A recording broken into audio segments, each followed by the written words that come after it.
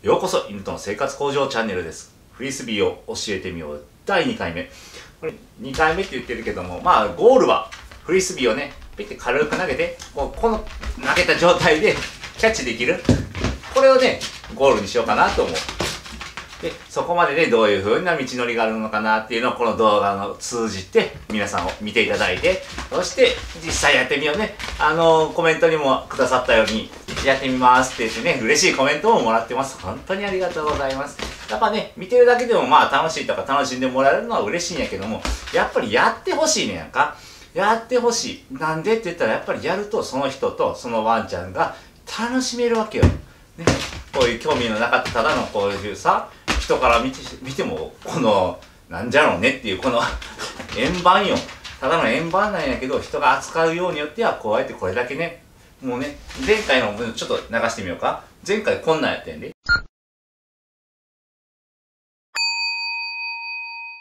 ね前回全く反応せえへんかったのがもう今日ね2回目。あちなみに前回の撮影からまあ1週間ぐらい経ってんのかな。ずーっとその辺にペッて置いてあった。この間床にずっと置いてあった。一回も自分で噛んでない。興味持ってない。アレイさんは落ちてる。落ちてるわ。って見てるだけ。あお手すんの。はいありがとうございます。ねでもこうやって人が上手にね操って持てばアレイさんはこれだけ興味を持つわけやん。ね。あれーイエーイすごいやろ。10歳やで。10歳になってもやっぱね楽しみたいね犬は。それをね人が放っておくとできないわけやんか。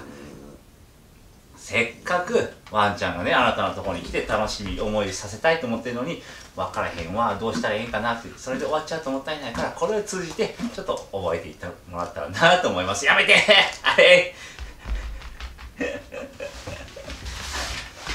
あのねカメラのレンズのこの何レンズフィルターこれかじってた。まあ確かにフリスビーに似てますけどな。えらいね。よう見つけたね。じゃ。まあ、やることはね先週に引き続きしっかりとおもちゃを動かして、ね、レース台ね興味を持ってる時まあ興味ね見てる時なんかそうやね見てる時にそれそれ、ね、褒めてあげたり私このね肩ね犬の前足がこうあれしたんちょって犬の前足がこう垂直に上がっていったここね肩ここをポンポンポンポンって励ますよりおそうそうそうってしてあげることが多い。そうするとねなんか励まされてる感覚になるか犬もね結構ねこういった興味持ってるものにより集中してくれるようになることが多い。まあそれはやってみてね。力加減もあるしね。手のポンポンのふうね。興味持ってたらそれやで。それやで。それでええんやで。やっぱ犬も興味持ってていいのかなあかんのかな不安がある。やっぱりさあのやってほしくないことに対して叱ったりとかすることもあったりするやん。反射的になんか落ちてるもの食べてほしくないものさ。言った時に「ほら!」って言った言っちゃったりするやんか。そうすると犬は興味を持っていいのかあかんのかっていう確信がないまま過ごしちゃうわけ。でそうなっちゃうとこういうね興味あるものに対してもおもちゃ持っていいんかなあれいいやつなんかなそれとも怒られるんかなって心配になんやんか。それをなくすためにいいんだぞその行動その行動っていうのはこのこれを見てていいんやで。ね、そういう意味でこうやってよしよしよし見てていいんやで、ね、怒らへんでっていうのを伝えてあげたりもするよ。よし。うわすごいね。加えたらちょっとわざと、ね、引っ張って、ね、取るように今画面で言うとこっち方向ね。こっちの壁方向ね。よいしょ。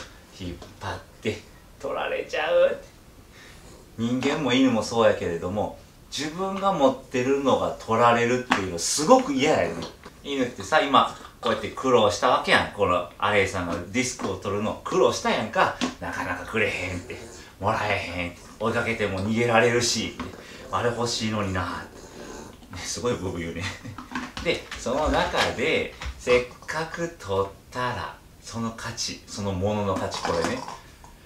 めっちゃ高なんねん、あの皆さんもあると思うけど、ね、あの苦労して手に入れたものってすごく価値が高いようにななるやんか。自分が欲しくて欲しくてたまらなかったものっていうのは手に入れたらよっしゃー！やっと手に入ったみたいな。これ欲しかってんって言ってものすごいもう頬ずりしたくなるやんか。うわーって。例えばね犬欲しいっていうのもそうやんか。犬欲しいって言って飼えたらうわ嬉しいってなるやんか。私もそうよ。うーん。犬飼えるまで二十何年かな。ずっと欲しかった。ね。おすごい声したね。で初めて買った犬はまあね。おー。おーおー何でしたのそのことお前なんか言うの？ちなみにちょっと話脱線するけどこうブーブー言うのね、まあ、アレイさんの場合はなんかあの興奮してる時とかなんか文句言う時とかなんかそういった時にブーブー言う。だから普段は全然言わない、ね、普段から言ってたらちょっと軌道の、あのー通りが心配やけど。まあね多少軌道は狭いんやけどね。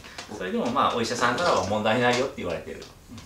あの鼻鳴る犬で普段からブーブー鳴る子はちょっと軌道のね心配した方がいいかもしれないけど。まああの特定の時にだけ鼻鳴るんやったら、まあ、そこまで心配する必要はないんじゃないかなと思う。めちゃめちゃほらへこんでる。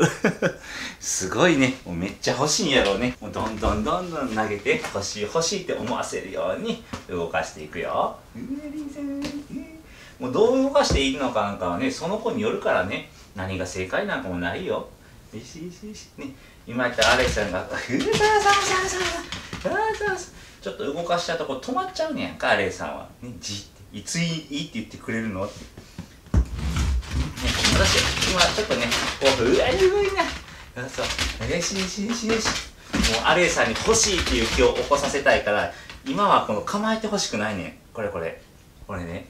構えてじってほししてほしくないねこれ見たらとりあえず追いかけてほしいえーそうそうそうそうそうそうじゃあ追いかけてほしいんやったらまあどうしたら追いかけるのかなとか、動かしながら見てみてで動いてる時にこうやってねかませてあげる。そういうのはねおすすめするよ。でアレイさんもねこうやってさっきの話の途中やけど欲しいものが手に入ったら、ね、手に入らへんと思ってたものが手に入ったら一生懸命になるやん。一生懸命になってたら犬も楽しいよ。それはそれができるのがやっぱりねしつけであって犬を理解することですし犬を理解して自分がどう変化していったらいいのかっていうの。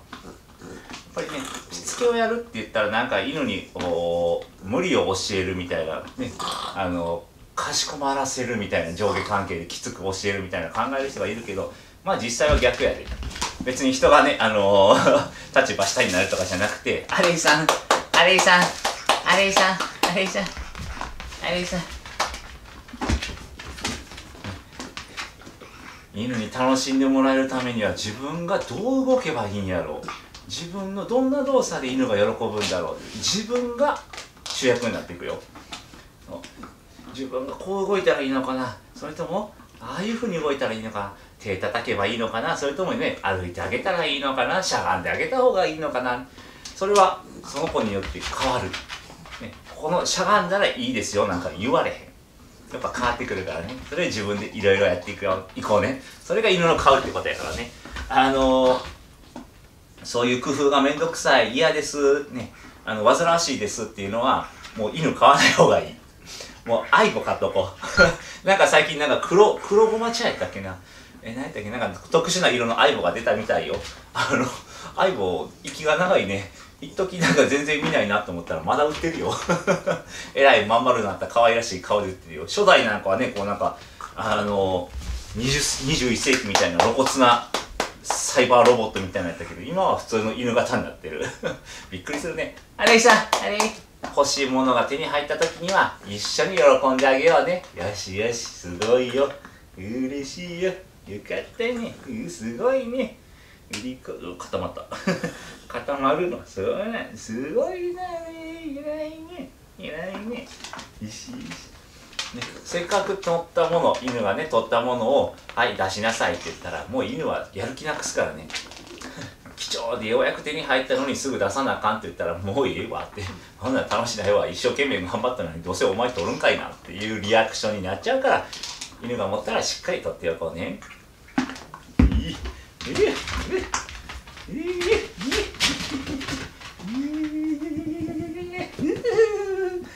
声を出すっていうのも一つね反応やしこうやってまた構えちゃったら人が動いてあげたりう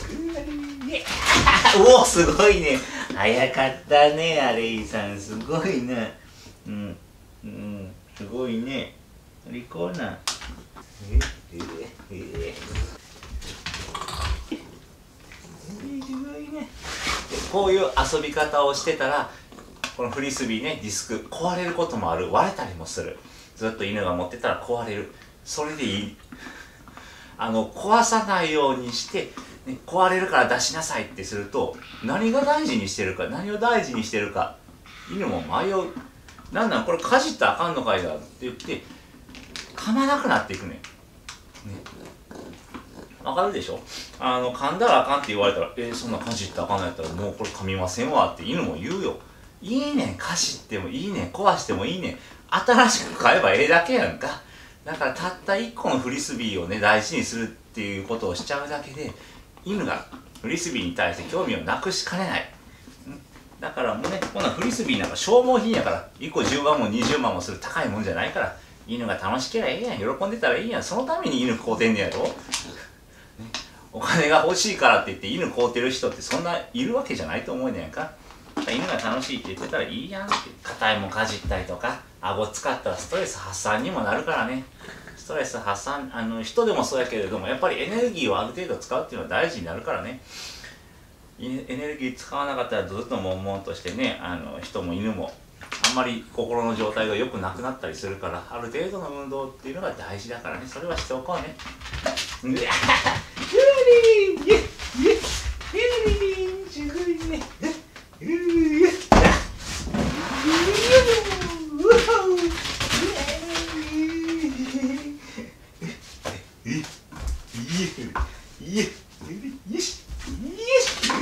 うまいね初キャッチ取れたかな？あれすごいね。あれさん。よしよりイエーこう動かす時の注意点やけれどもあんまり高い位置にねあの持って動かさないようにねこう動かしちゃうと 犬も欲しいもんやからね、高く飛び上がるそうすると着地の時にもしかしてねあの着地失敗すると足腰関節痛める可能性がある最悪骨折とかねあのそういった重傷にもつながりかねないからできればこういうものの高さ犬の顔の高さそれぐらいを上限にして動かしてあげるのがいいんじゃないかなって思う。うううそういうふうにね。いいよいしょ。うううよいしょよいしょ。うまいね上手だね。でこれね私が今追いかけるようにしてねあのキャッチさせる理由は将来ディスクってねディスクっていうのは追いかけて捕まえるもんやから。そのシチュエーションを兼ねて追わせるようにしてキャッチっていうのをさせてる。キャッチっていうか加えるやね、すごいね。欲しいもんやからね。引っ張ってもほらえー、一切の尻尾振ってるわ。楽しいんかな。ねすごいね。最後の1回はこの空中キャッチね。こういう風に回すとあの前じゃなくて真上に飛ぶよね。これでキャッチできたら終わりでしようかな。はいさんよし 残念。残念ですねあれ。あの失敗してもう一回やりたいからって言ってまた同じ繰り返しになるけどすぐに犬からディスクを離さないようにね。出せって言わないようにね。キャッチ失敗してもまあいいよって。楽しいよねそういう時もあるよね。あくまでこれは楽しむものやからね。